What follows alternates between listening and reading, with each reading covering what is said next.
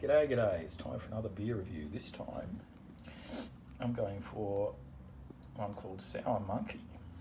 Sour IPAs apparently have become a little bit popular. I think I've only ever tried one or two of them. Let's give this a.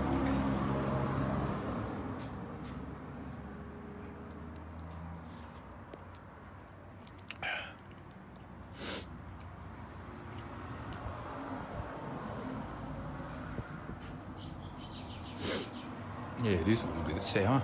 It's a bit like those lollies you used to have as a kid where you dip them and um, they'd have this sort of funny, tangy sort of flavour all the way down the back of your throat. It's a bit like that. Nine and a decent beer. It's not exactly my cup of tea, but you know, I'd enjoy one every now and then.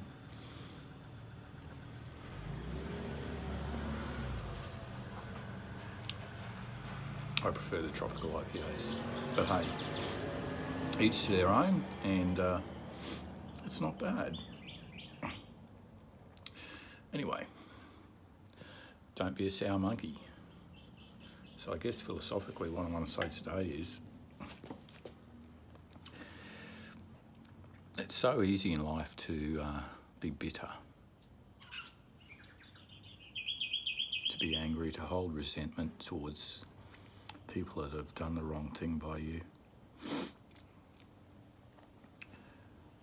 In my case, I feel as if it's the other party uh, believes that they're completely innocent or largely innocent, and uh, I'm the one that's guilty.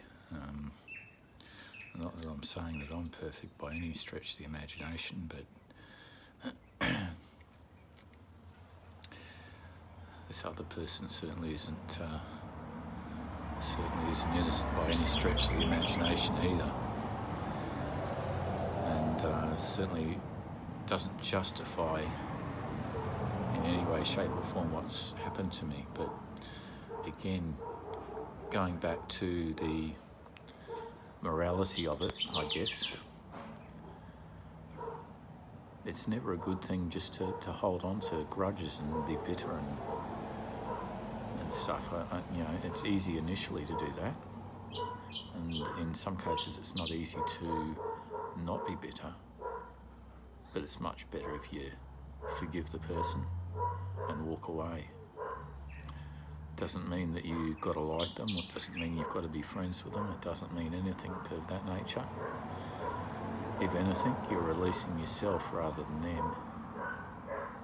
So.